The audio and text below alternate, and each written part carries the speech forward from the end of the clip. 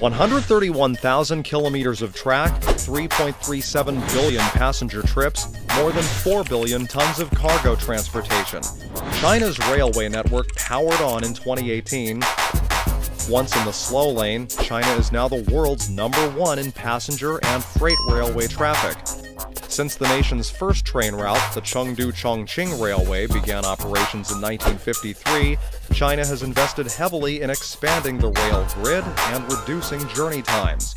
From the Baotou Lanzhou Railway, the first train link through the desert, to the Qinghai Tibet Railway, the world's highest and longest high plateau rail line, China has overcome a slew of challenges while also progressing steadily toward building a network of eight east west and eight north south high speed rail lines. Today, China's railway network spans almost every corner of the country, from deserts to cities, from plateaus to plains. Its high speed rail network has a total track length of almost 30,000 kilometers, twice as long as the rest of the world's high speed rail lines combined. The speed of trains has also increased dramatically, up sixfold in the past 70 years. What does it mean? Back in 1949, commuting from Beijing to Shanghai took 36 hours. Seven decades on, the travel time has dropped to 4 hours and 18 minutes thanks to the Fuxing train that runs at 350 kilometers per hour. And the future could still be more astounding. China is planning to build a super high speed maglev train that could reach 800 kilometers per hour.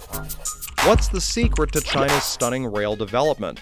Unlike some developed countries where new railway construction is often primarily motivated by profit, a desire to improve people's quality of life and opportunities is the driving force behind China's infrastructure expansion. For example, China built the Chengdu Kunming Railway, a route over difficult terrain, to give ethnic minority groups more mobility. Spanning 991 bridges and 427 tunnels, the railway is hailed as a miracle of engineering. But prioritizing accessibility ahead of profit does not necessarily mean bad investments.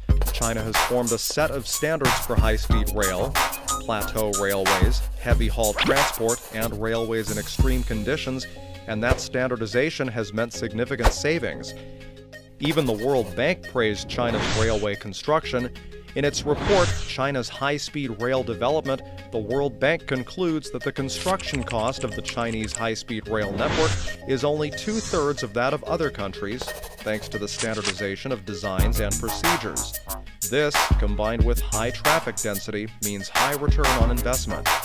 The rate of return on China's high speed rail network as of 2015 is estimated at 8%, well above the opportunity cost of capital in China and most other countries for major long term infrastructure investments, according to the World Bank in its report. The high return rate, in turn, has contributed to more investments in rail, further accelerating China's development. The speed of China's growth has astounded the world, and a peek at China's railway construction helps explain what has underpinned the country's fast journey over the past 70 years.